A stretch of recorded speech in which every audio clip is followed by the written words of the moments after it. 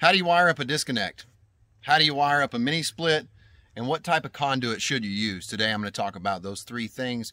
First, we're going to go over the disconnect and the wiring. For those of you that don't know anything about wiring up a disconnect, I'm going to give you some information that may be helpful to you. Before we get started, hit the like button, subscribe, and hit that bell, ding, so you know what I'm doing. You want tech support, you want help with your project, go click the join button, become a member, let me know in the comments. I'll give you an email, and then that'll lead to contact with me, and I can help you. You're watching HVAC Tips for Technicians. I'm Tad. Let's get started. Today I'm replacing the conduit and the wiring inside of the conduit that comes from that electrical box and goes to my non-fused disconnect. I'll also be replacing the wiring inside of the whip or the flexible conduit that leads from that 60 amp non-fuse disconnect to my outdoor unit or my mini split. And the reason I'm doing that is because we've failed an electrical inspection. And the reason we failed an electrical inspection is because number one, below eight foot, and it may be different, you need to check the codes. Um, in your area, some electrical inspectors will pass some things and some won't. So it just depends on what electrical inspector you're dealing with but you cannot use below 8 foot, below 10 foot, I'm pretty sure below 8 foot, you cannot use Schedule 40 conduit. You have to use Schedule 80. So I've got to replace this Schedule 40 to Schedule 80, and that's what we're going to be doing.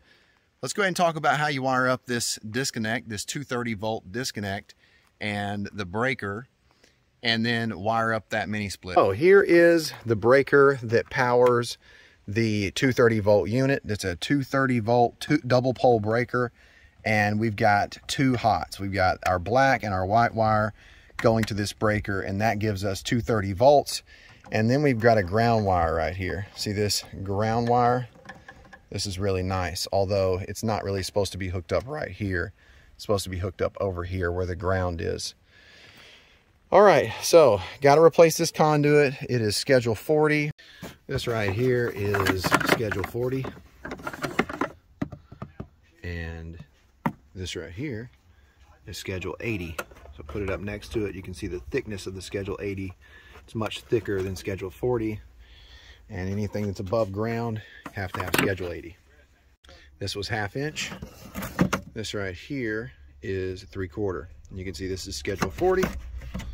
And then right here is schedule 80. So you can see the thickness.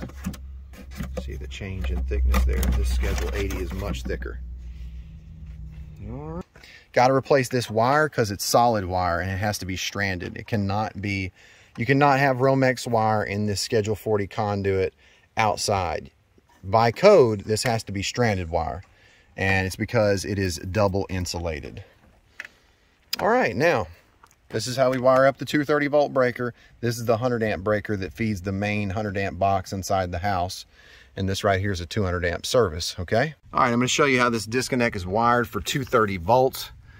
We have got our load and we've got our line on the outside. So this black and white come in, okay, from the electrical box and they go to the center, which really, that's not right. They should go to the line, which should be on the outside. And then these wires right here that come, come from this disconnect and go to our little outdoor unit mini split, they're going to the outside, which that shouldn't be there. It should be on the inside. It should be where the load is because this is the load, right? Okay, and then this is the line. Line comes in and then load goes out, okay? And that air conditioner is the load. So we're gonna rewire this. This is the wiring that I'm using. And this is stranded wire. I've got white, black, and green. Where's my ends? All right, you see how that's stranded? See, that's stranded right there. All right, now I've got my conduit fittings like I've got my sweep. And that says Schedule 80 PVC.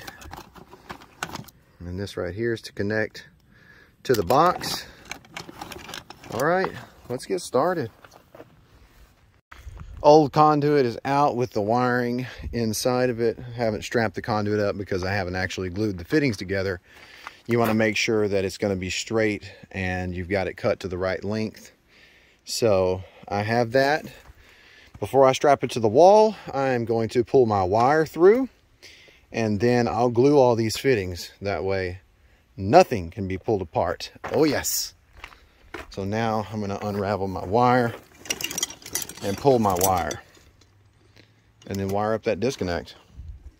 Let's do it. Now, get the wire pulled through there.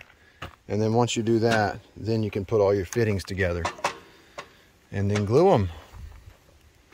All right, now I'm going to take and remove the number 10 wire from the conduit.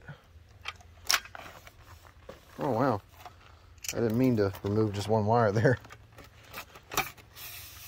Okay, come on now. Get out of there. Beautiful. Now, go ahead and run our new wire. And I need to take that off there. All right, let's go over the wiring now. So we got our black and our white stranded wire hooked up to our breaker here, double pole. If it was 110, we'd have a single pole breaker and this black would be on that single pole breaker and then the white would be on the neutral. And then there'd be a, a ground wire, which is the green wire usually, and it would go to the ground bar. That's how you took up 110. So got the breaker installed and then we go over here and this is how we wired the disconnect. Now our wires are hooked up to the line, okay? One here, one here. And that's our input power to the disconnect, and this is gonna be our output. That's where we're gonna hook these wires to. I'll show you that when I get it hooked up. All right, this is our disconnect wired now. You can see that these wires right here are going in the middle, and this is the load. And we got our grounds hooked up, and we've got our little bushing here, little plastic bushing. You have to have that as well part of the code. I got to get one over here. So let me show you the plate now. Just in case you don't know. And this is how this goes in. Right here. And then this right here. All right. Now we should pass our inspection. Hopefully we won't have this red sticker next time. And how is the mini split wired up? Just in case you don't know, this is your line voltage coming into the unit on the bottom. It says power, and then these two wires go to the indoor unit. And that right there is the conduit for the wire going inside to the wall mount air handler. And F1 and F2 is communication wire. So power wire to the unit, power wire to the indoor unit, from the outdoor unit, and then communication wire. Pretty simple. If you fail an inspection, learn from it. It's not the end of the world. I knew better, but wasn't here and didn't think about it. And sometimes you just things slip your mind and you fail and it's okay. A little bit more money for the state. So yay for Tennessee and the more money that I had to pay.